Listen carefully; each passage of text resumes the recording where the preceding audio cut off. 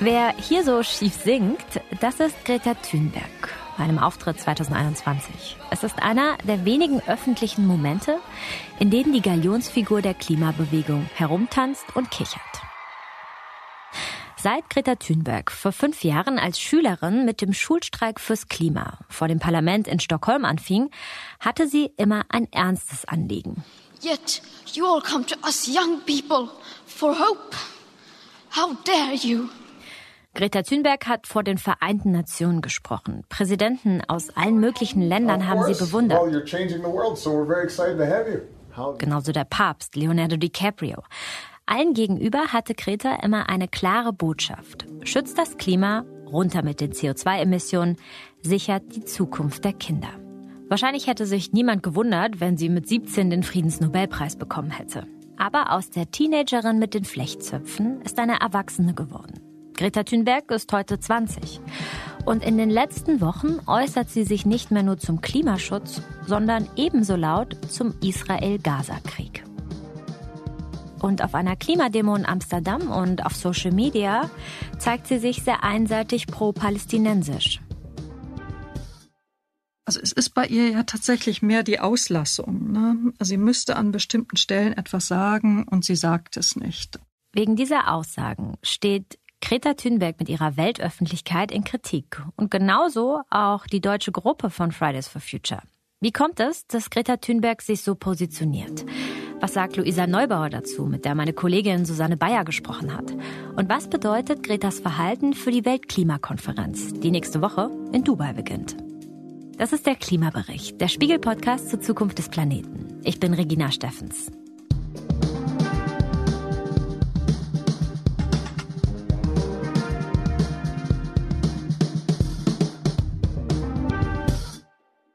Es kam doch ein wenig überraschend. Vor einigen Wochen posten Greta Thunberg und Fridays for Future International auf Social Media Fotos mit Plakaten, auf denen Free Palestine und Stand with Gaza stehen. Daran ist zunächst einmal gar nichts verwerflich. Dazu posten sie aber ein ausgiebiges Statement, in dem sie Israel für den aktuellen Krieg in der Ost verantwortlich machen. Kein Wort zu den Terrorangriffen der Hamas, den Opfern auf israelischer Seite und den 240 noch immer entführten Geiseln. Woher dieses Verhalten von Greta Thunberg rührt, darüber will ich mit meiner Kollegin Susanne Bayer sprechen. Sie leitet derzeit das Wissensressort beim Spiegel und ist Autorin der Chefredaktion und hat letzte Woche auch mit Luisa Neubauer gesprochen. Wir wollen zusammen blicken auch auf die letzte Eskalation von Greta Thunberg bei einer Klimademo letzte Woche in Amsterdam. Vor mehr als 70.000 Menschen ist Greta Thunberg da aufgetreten, hat sich die Bühne geteilt mit einer Aktivistin, die Israels Präsidenten kürzlich mit Adolf Hitler verglichen hatte. Greta Thunberg wurde bei der Demo sogar das Mikro von einem Teilnehmer entrissen, der sagte, er sei hier wegen der Klimathemen und nicht wegen Politik. Sie hatte nämlich wieder das Wort für Palästinenser ergriffen. Die Äußerung ist ja im Grunde auch schon Kleidung. Sie hat den Palästinenser-Schal oder das Palästinensertuch getragen, damit ihre Solidarität mit den Palästinenserinnen und Palästinensern bekundet, was ja auch in Ordnung ist. Also die Palästinenser, denen fehlt es seit Jahrzehnten an Selbstbestimmung. Äh, der Krieg schlägt fürchterlich auf sie zurück. So, also all das ist in Ordnung. Äh, was sie dort nicht getan hat und eben seit vielen Wochen ähm, nicht von sich aus und freiwillig tut, ist es einzuordnen, dass dieser Krieg auch die Folge ist des Massakers der Hamas am 7. Oktober an Jüdinnen und Juden und, und sie lässt da was weg. We have to listen to the voices of those who are being oppressed and those who are fighting for freedom and for justice. Es hat eine andere Frau gegeben, die wahrscheinlich Palästinenserin äh, war. Äh, sie sagte jedenfalls, in unserem Land findet ein Genozid statt. Oder in meinem Land, sagte sie. Und das hat Greta Thunberg äh, einfach stehen lassen. Wir müssen hier sehr auf die Begriffe achten, denke ich, in der Debatte. Und meines Erachtens ist der Begriff hier falsch zu sagen Genozid, denn Genozid ist eine Absicht, die du formulierst, Menschen wegen ihrer Herkunft zu ermorden. Und das tut Israel nicht. Israel hat die erklärte Absicht, das nicht zu tun. Ähm, und auch wenn wir überhaupt nicht einverstanden sein können mit der, äh, mit allen Verästelungen der Kriegsführung Israels, da ist viel Kritik anzumerken, sagen Experten, dass von Genozid überhaupt keine Rede sein kann. Und an diesen Stellen hätte sie sich verhalten müssen. Und das tut sie nicht. Sie ist ja eigentlich mit einer in den letzten Jahren einer großen moralischen Komponente aufgetreten, auch oft sehr, sehr emotional und empathisch mit vielen Menschen, die unter der Klimakrise leiden. Warum fehlt es ihr an Empathie für israelische Opfer? Rita Thunberg scheint mir bei allem sehr über den Verstand zu gehen. Ich lese sie gar nicht so sehr als emotional. Ich weiß genau, was du meinst ähm, mit How Dare You äh, auf mhm. der UNO-Klimakonferenz vor einigen Jahren. Und Tränen in den Augen. Und Tränen in den Augen. Nein, du hast schon recht. And all you can talk about is money and fairy tales of eternal economic growth. How dare you? Aber sozusagen basiert ist die Emotionalität bei den Klimasachen bei Greta Thunberg wirklich auf wissenschaftlichen Fakten eigentlich. Und das fand ich auch immer so großartig und faszinierend bei ihr. Sie hat den Klimawandel, die Folgen davon wirklich durchdrungen, konnte da auch auf Augenhöhe mit Erwachsenen, mit Experten, mit Professorinnen und Professoren sprechen. Aber meine Deutung ist, dass sie sozusagen auf den Konflikt in Nahost guckt durch die Brille einer linken Theorie, äh, die es so gibt, auch an Universitäten und und dass sie sich der Theorie nach verhält, wie sie sich letztlich in der Klimadebatte auch äh, Theorien nach, äh, die allerdings validiert sind, verhalten hat. Und, und, und hier haut es nicht hin. Muss da sehr unterscheiden. Es ist schwierig, da generalistisch zu sein, aber die meinetwegen ähm, Kolonialismus gleichsetzen mit der Gründung des Staates Israels und so. Ähm, also da fehlt es da der Theorie an Genauigkeit und da fehlt es auch eher an Genauigkeit. Oh, climate justice on occupied land. Das musst du uns vielleicht noch ein bisschen genauer erklären, was das Gerne. heißt. Sie ist in diesen linken und linksradikalen Kreisen, die vielleicht dazu führen, dass sie sich einseitig positioniert. Was genau meinst du damit? Welche Kreise sind das? In welcher Community ist sie da? Der Klimawandel ist für sie auch eine Folge fehlender globaler Gerechtigkeit. Mit der Entstehung der Industriestaaten ist auch der Kapitalismus, diese linken Gruppen haben zu Recht, wie ich finde, äh, Fragezeichen am globalen Kapitalismus. Und ähm, da hängt also wirklich viel zusammen, ne? das, das ökonomische Denken und ein historisches Denken. Und für diese Gruppe ist eben Israel als ein Land, das seine Verbündeten im Westen hat, ähm, Amerika vor allem, auch Deutschland, Europa, ist Israel Teil des Westens. Und somit auch Teil der westlichen Gemeinschaft, bei denen diese Gruppen sagen würden, da funktioniert sehr viel über Ausbeutung und aus, auch Ausbeutung des sogenannten globalen Südens. Ich habe Probleme mit dem Begriff globaler Süden, weil er so unsere Perspektive, also die der westlichen Staaten so festschreibt. Äh, aber das ist gemeint. Im Grunde möchte sie solidarisch sein äh, mit den Ländern des globalen Südens. Da ist auch viel richtig daran.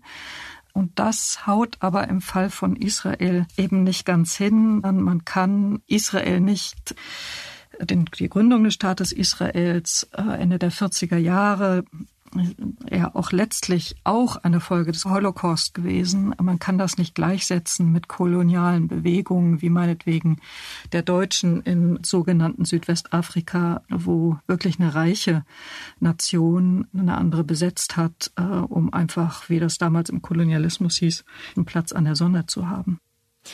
Wir wollen vielleicht noch ein bisschen auf die Vorgeschichte schauen. Es kam jetzt vor allem in Amsterdam zu ihrem Auftritt auf der Bühne. Einer unserer Kollegen hat auch den Mann porträtiert, der da interveniert hat, als Greta Thunberg ja uh, No Climate Justice on Occupy Land vor 70.000 Menschen gesagt hat. I come here for a climate demonstration, not a political view.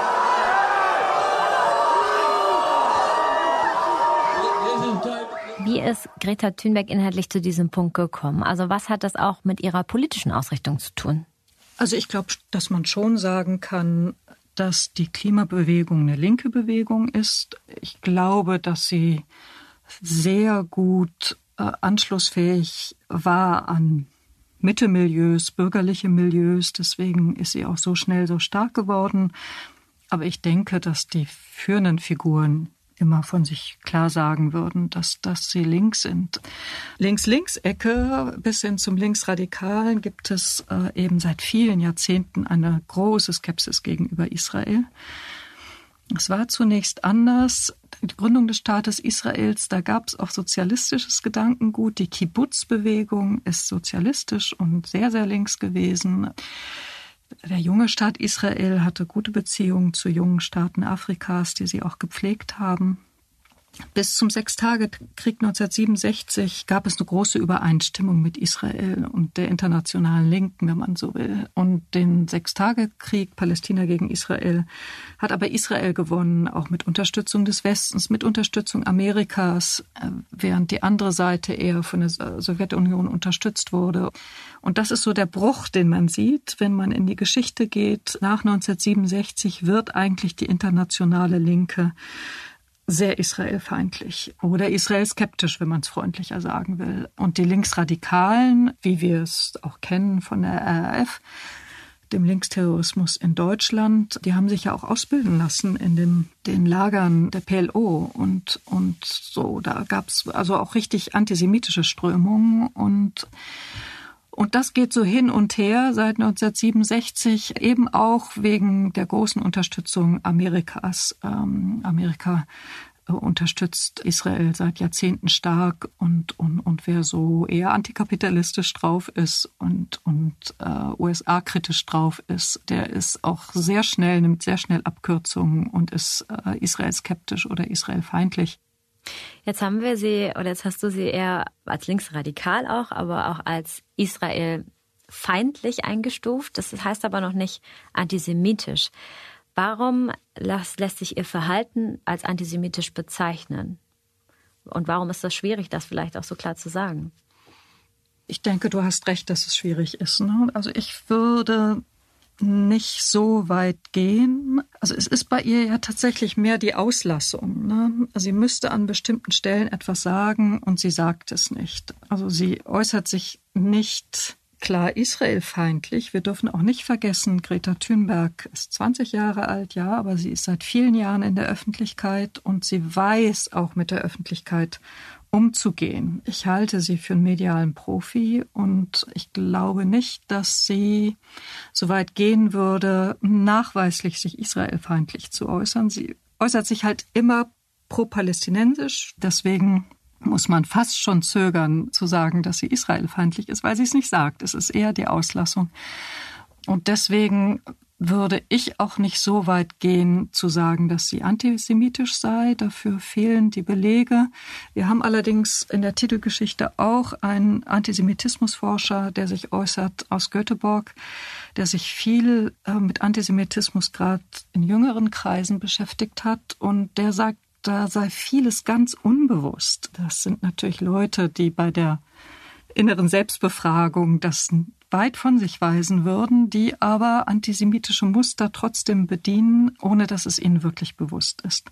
Und vielleicht kann man Greta Thunberg in dieser Ecke verorten, bei aller Vorsicht, die man bei diesem schwierigen Thema doch walten lassen muss. Auch an amerikanischen Elite-Universitäten, zum Beispiel Harvard, ist die Skepsis bis hin zum Hass gegen Israel gerade unter jungen Linken zu beobachten. Dabei ist es nicht einfach, die Grenze zwischen Israel-Kritik, Feindlichkeit und Antisemitismus zu ziehen. Das gilt auch für Greta. Sie hat sich nie explizit gegen Jüdinnen und Juden geäußert. Allerdings in den Postings von Fridays for Future International, und das ist ja die Seite, auf der Greta auch auftritt, sind wirklich schwierige Begriffe drin. Die Gruppe bezeichnet Israel als ein Apartheidssystem, sprach von einer Gehirnwäsche durch weltweite Medien, die finanziert seien von, Zitat, imperialistischen Regierungen, die hinter Israel stehen. Auf dem Foto von Greta und ihren drei Mitstreitern mit den Palästina-Postern haben sie auch gezielt ein Kuscheltier drapiert, ein Oktopus. Dieser Oktopus, diese Krake, gilt als Symbol einer antisemitischen Verschwörung. Die besagt, Jüdinnen und Juden würden wie eine Krake die Welt umschlingen. Greta sagt zu dieser Kritik, das Kuscheltier helfe autistischen Menschen wie ihr dabei, ihre Gefühle auszudrücken. Von dem antisemitischen Symbol habe sie nichts gewusst. Wirklich nicht? Auf dem Foto ist sonst keine Deko oder ein anderer Kuscheltiergegenstand zu sehen. Fridays for Future International hat das Foto gelöscht und ein paar Tage später eine neue Version auf Social Media geladen, in der das Kuscheltier herausgeschnitten wurde. International ist das Echo auf Greta nicht ganz so kritisch. Sie bekommt größtenteils Rückhalt, auch aus der Fridays for Future Bewegung in anderen Ländern, zum Beispiel Finnland oder Dänemark. Anders in Deutschland. Der Zentralrat der Juden hat Greta Thunberg für ihr Verhalten scharf kritisiert, so wie auch viele Politiker. Die Chefin der Grünen, Ricarda Lang, sagte, Greta Thunberg missbrauche die Anliegen des Klimaschutzes für eine einseitige Position. Das sei absolut unanständig. Und Fridays for Future Deutschland geht auf Distanz zu Greta, will aber Forderungen, sich umzubenennen, nicht nachkommen. Hier macht sich die Befürchtung eher breit, wir verlieren durch Greta das, was uns ausgemacht hat, also ein sehr objektives, fachliches Anliegen, gestützt von der Wissenschaft, das alle Menschen betrifft und Akzeptanz bei sehr vielen unterschiedlichen Menschen schafft. Fridays for Future Deutschland ist in so einer Art Zwickmühle. Natürlich Sie wollen ihren Namen behalten, also wollen sich nicht so weit distanzieren, dass sie sagen, wir werden eine komplett abgespaltene Klimabewegung. Andererseits hat Luisa Neubauer im Interview mit dir und unserem Kollegen Jonas Scheibler auch gesagt, sie ist eine Impulsfigur gewesen, Greta, aber auch nicht mehr. Also wie wirkte Luisa Neubauer im Interview auch auf euch? Wie schwierig ist das Thema für sie? Wie vorsichtig ist sie? Also sie ist eigentlich sehr klar. Sie sagt, es sei mit ganz großen Schmerzen verbunden in den internationalen Beziehungen. Beziehungen gingen auseinander. Sie bezieht das nicht klar jetzt auch auf sich und Greta Thunberg. Da ist sie vorsichtig. Aber sie sagt auch, das fand ich einen guten Satz, äh, es sei auch eine Zeit der Klarheit. Und, und Fridays for Future, also Deutschland, hat einen sehr klaren Kompass äh, in den letzten Wochen. Die wissen gerade genau, was sie tun. Und ich finde es deswegen interessant und fast auch vorbildlich. Wir sehen ja auch in den Debatten bei uns im Land, es immer so heißt, ist alles so kompliziert und man kann eigentlich keine Aussage treffen. Und Fridays for Future Germany sagt letztlich, es ist einfach. Unser Herz ist groß, es ist ganz viel Platz für Mitleid für verschiedenste Gruppen und wir, wir können Mitleid mit den Palästinenserinnen und Palästinensern haben und zugleich den Terror der Hamas als Terror benennen und Mitleid haben mit den Jüdinnen und Juden, die Opfer dieses schrecklichen Attentats wurden. Können Sie sich denn von der Galionsfigur Greta Thunberg freimachen, die sicherlich auch auf der Weltklimakonferenz auftreten wird, die nach wie vor das Gesicht dieser Bewegung ist und wirklich äh, so eine hohe Verantwortung hat als auch eine junge Frau, die schon als Teenagerin etliche junge Menschen, Wissenschaftler, Politiker hinter sich vereint hat. Letztlich ist es so, wie Luisa Neubauer sagt, äh, Greta Thunberg war die Initiatorin, aber Fridays for Future Deutschland hat sich da früh selbstständig gemacht und konnte auch sozusagen nach dem Anstoß aus eigenen Kräften heraus sich entwickeln. Und es ist auch etwas, was in früheren Interviews Greta Thunberg immer gesagt hat. Ich bin Teil dieser Bewegung wie jeder andere auch. Sie hat gar nicht für sich in Anspruch Anspruch genommen, die Führungskraft dieser Bewegung zu sein. Und gleichwohl ist es, wie du sagst, sie wird so wahrgenommen. Faktisch ist sie es bei allen demokratischen Strukturen, die sich Fridays for Future äh, selbst auferlegt hat. Da muss man natürlich auch ein bisschen medienkritisch sehen. Auch Medien haben sie zu dieser Galionsfigur gemacht, haben, wurden sich wirklich die Finger wund geschrieben und gedreht über die junge Schülerin mit den Zöpfen, die mit dem Plakat vom Parlament in, in Stockholm saß? Da, da haben wir sicher eine Mitverantwortung. Also wir haben das selber gemerkt als Spiegel. Wir haben immer wieder Titelgeschichten gemacht zum Klimawandel. 2016, 17, 15. Offen gesagt keine großen Erfolge.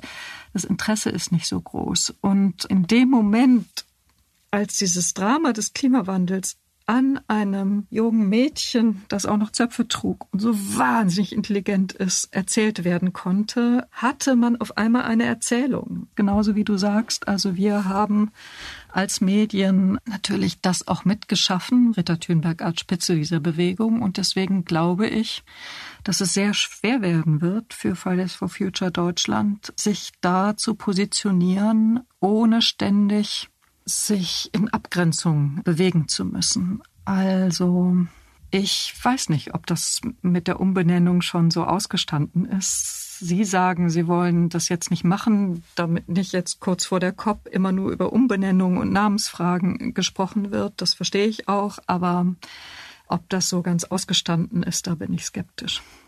Welchen Schaden hat die Klimabewegung denn noch genommen durch diese ja jetzt diesen Fokus auf einem ganz anderen Thema und nicht eigentlich Klimaschutz, wissenschaftlich basierte Bekämpfung der Klimakrise?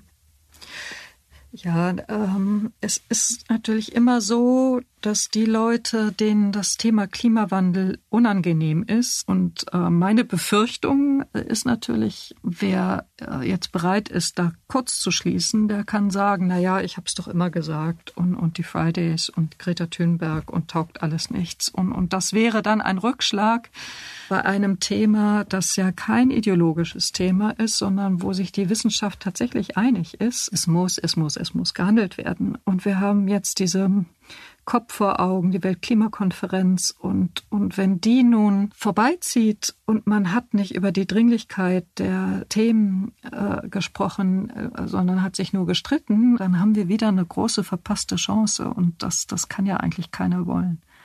Und kommen jetzt auch zu dem Punkt, wo die Weltklimakonferenz ansteht und wirklich ja, wie du schon sagtest, dass es die Befürchtung ist von Fridays for Future Deutschland, dass sie geframed wird von dieser Frage, wohin entwickelt sich Greta Thunberg?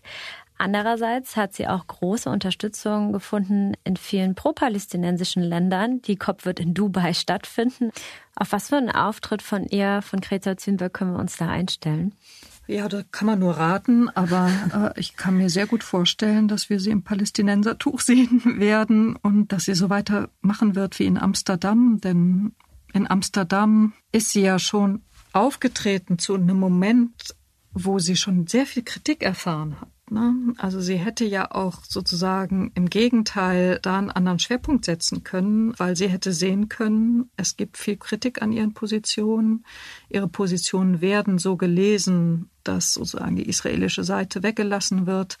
Ich vermute dadurch, dass sie so einen klaren Fokus gesetzt hat als Medienprofi in Amsterdam, dass das die Linie ist, die sie gegen alle Kritik fortsetzen wird. Wann wäre denn Greta Thunbergs Verhalten eigentlich entschuldbar?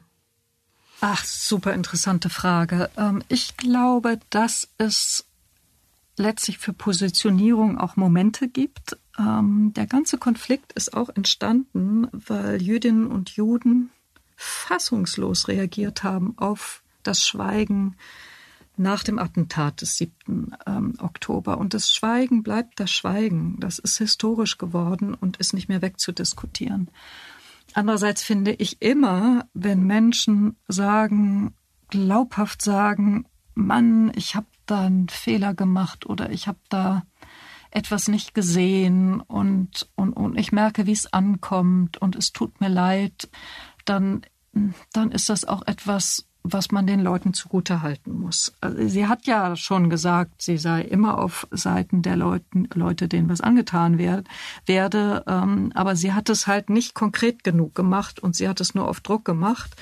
Also es müsste schon ein sehr freies, sehr selbstkritisches Bekenntnis sein, was, äh, was ich ihr gerne abnehmen würde. Wir sind sehr angewiesen äh, darauf, dass es Bewegungen gibt, die Druck machen bei der Klimapolitik und und sie kann großen Druck ausüben. Gleichwohl ist dieses Schweigen auch nie wieder ganz wegzumachen. Es ist eine historische Tatsache, ähm, die bleibt. Das war der Klimabericht für diese Woche. Ich bin Regina Steffens und bedanke mich bei Susanne Bayer und bei Janis Schakarian, die mich bei dieser Folge unterstützt haben. Marc Lüx hat die Folge produziert. Auf spiegel.de findet ihr die aktuelle Titelgeschichte zu Greta Thunberg sowie viele Texte, die sich mit der palästinensischen wie israelischen Seite auseinandersetzen. Empfehlen kann ich euch auch unseren Auslandspodcast 8 Milliarden. Den Link findet ihr in den Show Notes. Bis nächste Woche.